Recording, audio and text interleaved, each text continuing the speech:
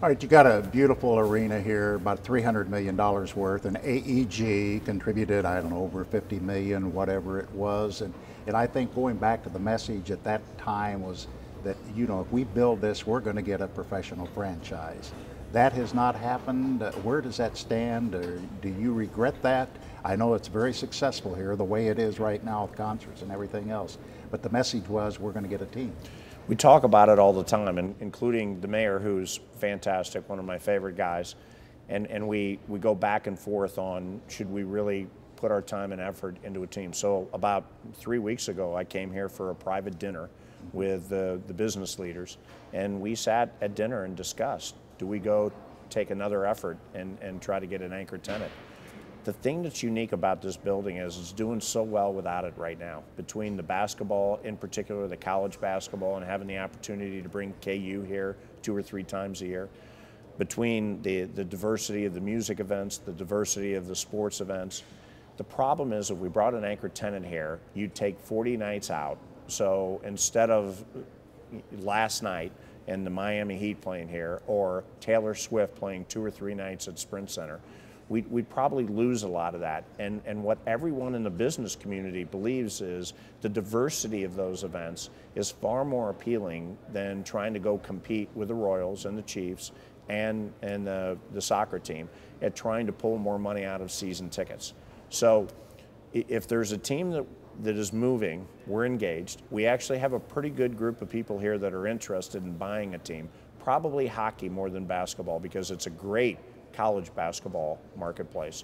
That said, I, I, think the brilliance of Sprint Center is I think the business community and the community as a whole loves the diversity of the 140 events a year that we're doing here. We're making more money than anyone ever thought we'd make. We're giving a lot of money back to the city. And whether it be the mayor or the business community, what everyone's saying now is, you know what? Stay the course. This is pretty good what's going on here. You're making the money, but you're not satisfying the appetite of the sports fan. I'm not sure there's an appetite. Here, here's the debate. Is there that much of an appetite?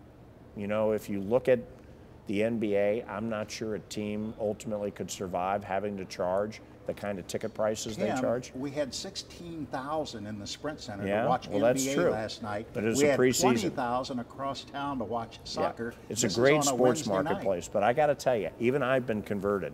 When we first built this, we were dedicated to trying to get an anchor tenant. Now I'm looking at it going, be careful, because if we bring an anchor tenant here and it doesn't do well, it'll kill this building. It'll kill the downtown renaissance that's been created here. So be careful. I still think a team's coming, but I think it's going to be one. There's only one team that's moved since we opened this building.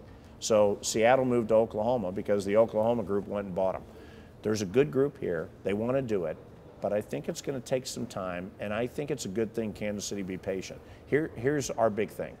If this is about a boatload of money, if this is about backing the truck up and dumping money into the lap of an owner or a team, the thing I love about the success that Sprint Center's had is Kansas City, from the mayor on down, says, We're not doing that. We're not sitting here giving them a blank check. We don't need it.